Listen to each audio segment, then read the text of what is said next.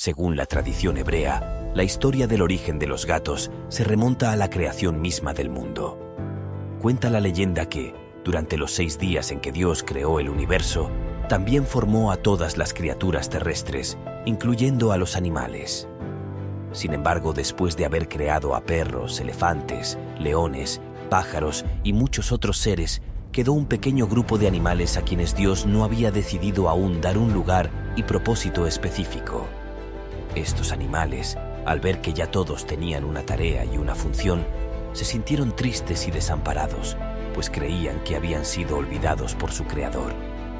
Uno de estos seres olvidados era el gato, que se mostraba especialmente triste y melancólico.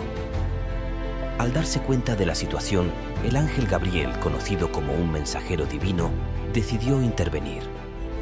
Gabriel le preguntó a Dios qué función tendrían estos animales olvidados, y Dios respondió que aún no lo había decidido y que esperaba encontrar una misión especial para cada uno de ellos. El ángel Gabriel, lleno de compasión por el gato y queriendo hacer algo por él, decidió darle un regalo. Se acercó al gato y le susurró al oído. A ti, gato, te otorgo el don de la agilidad y la elegancia. Serás veloz y flexible. Podrás moverte en silencio y serás el guardián de los hogares donde decidas habitar.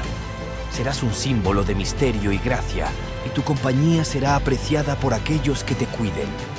El gato, al escuchar las palabras del ángel, se llenó de alegría y gratitud. Desde entonces, los gatos se convirtieron en seres independientes y misteriosos, siendo considerados animales especiales con habilidades únicas y espirituales. A lo largo de la historia hebrea y en muchas culturas posteriores, los gatos fueron valorados y respetados por su agilidad, su astucia y su capacidad para mantener a raya a los roedores. Así nació la leyenda hebrea del origen de los gatos, que ha perdurado a lo largo del tiempo y ha contribuido a que estos enigmáticos felinos sean admirados y amados por muchas personas en todo el mundo.